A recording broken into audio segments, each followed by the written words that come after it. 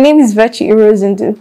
Welcome to another episode of Uncolored Remark on Thav TV, where we bring to you top trending gist and entertainment that you don't want to miss. So on today's episode of Uncolored Remark, we're going to be talking about late singer Mohbad's father and his wife Wunmi. You will love this one, so stay tuned while we go on a quick break and we will be right back.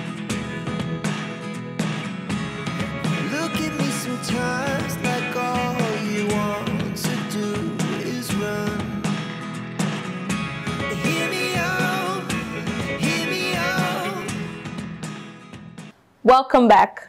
Please like, share, subscribe, and hit the notification bell for more entertaining gists like this one. So, most of us are aware of how the late singer Mohbad died. It was a very, very painful and mysterious incident. Most of us are aware that what we were told was not all that happened, that there was more to what we were told. In fact, most of us in Nigeria have that impression that there is more to Mohbad's death.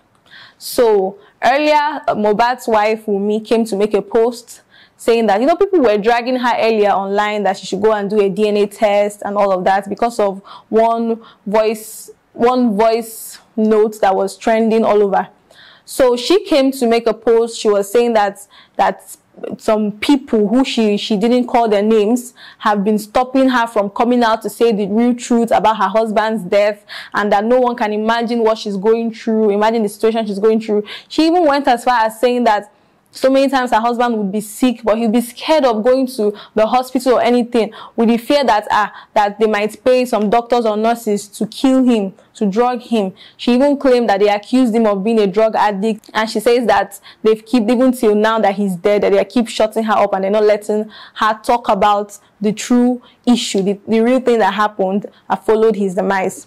And she even talked about the DNA test issue. She said that the reason she has not done the DNA test is because her father-in-law has refused to get the court order for her to do the DNA test. And her reason is that if she goes about with all with everything has been going on around her with people trying to you know bl- eh, to blame her to shame her and drag her that you know she might want to do the dna test and there will be some kind of interference and then she'll be in trouble again so she wants a court order before she does the dna test now today her father-in-law has replied that post telling her that whatever it is that she, she feels she knows about Mohbad's death, that she should say it.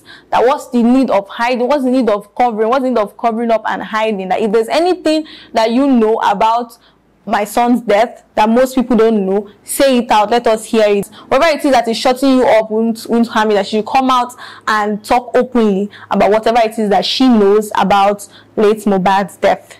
He even talked about the issue of DNA. That when Mohbad's father now said that when he asked Wumi for a DNA test for Liam, Mohbad's son, that in return, Wumi now asked Mohbad's father that has he gotten a DNA test from Mohbad's mom to know if he is the true father of Mohbad and that she never said anything about court order and all that.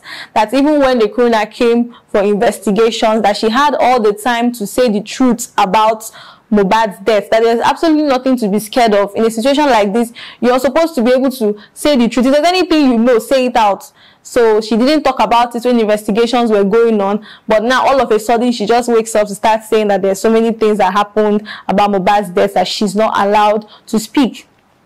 Some people have alleged that it's Naira that's Marley that bullied Mohbad while he was alive, and that it is still Naira Marley that is bullying Mohbad's wife and all of that. We're not sure of this. We don't know. But I feel that if there's anything you know about, about a person's death, you should tell someone. Even if it's to tell family members, even if it's to tell close friends. Let it let it be that it did not come out from your mouth. If you're trying to be safe, if you're trying to be safe, then let it be that it didn't come from you. But if there's anything that's going on that happened following the death of a loved one, I'm not sure it's something you should keep to yourself. If there's anyone guilty of the death of a loved one, it's not something you would keep to yourself. You should tell a person, at least a family member. So I don't, I still don't understand why she's keeping those things to herself. But then family issues, I don't think anyone that is grieving a person should be being to be dragged. However it is, that is the father of her son and she's still grieving. Being being raising a child alone and becoming a single mother at such a young age is so painful so she's grieving i don't think anyone should be dragging her up and down left and right then asking for demanding for a dna test when when her husband was alive he never doubted the paternity of his child though he never demanded for dna test and now we are demanding for it. I don't think it's okay. But let me know your thoughts in the comment section. Who do you think is behind Mohbad's death? Or what do you think happened that followed Mohbad's death? Let me know your thoughts in the comment section. And please don't forget to like, share, subscribe, and hit the notification bell for more entertaining videos like this one. Bye and I'll see you in my next video.